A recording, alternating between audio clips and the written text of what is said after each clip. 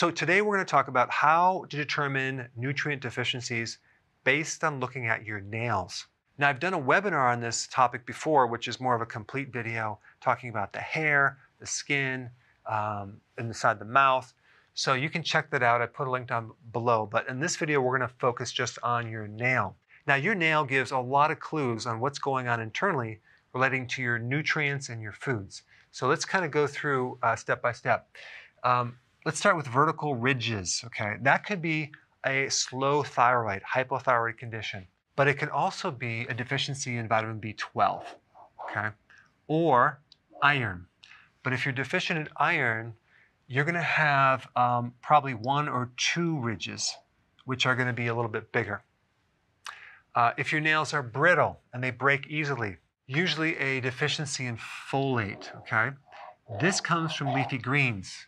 People that have brittle nails usually do not consume enough vegetables.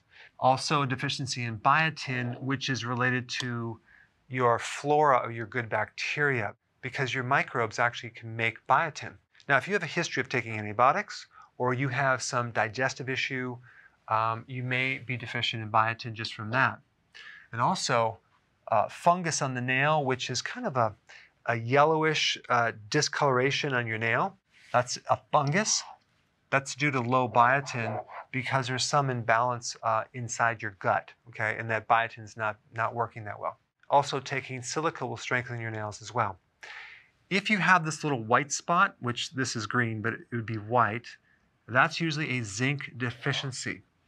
If the white spot is right in the center and the nail grows every six months, we know you probably had a birthday party six months ago and you ate the entire cake because refined carbohydrates and sugar deplete zinc. Also, stress will deplete zinc as well, and so will uh, IBS, digestive issues, Crohn's. A lot of issues with your digestion will create a zinc deficiency, including uh, low stomach acid. Okay, if you get the horizontal uh, white lines through here, okay, that's more of a low calcium. Now, over here, we have horizontal lines which are thicker, but they're not as white. That's usually a deficiency of vitamin B3, niacin. If the nail is slightly brown or gray, that could be low B12. And a B12 deficiency can occur if you're a vegan and you're not taking B12 because B12 comes from animal products, or it could be that you had gastric bypass, which affects the digestion and the absorption of B12, or it could be low stomach acids. If the nail is clubbed, let's say, for example, it's coming up like this, that can be a problem with the liver or kidney. If you have this pattern where most of it is excessively white, you, yeah, just the top part is pink, a pink strip, that could be B12. If the nail is completely white, or blue, that can be a B1 deficiency. So as you can see, the common theme is low B vitamins and low minerals because both of those nutrients are involved as coenzymes in proteins.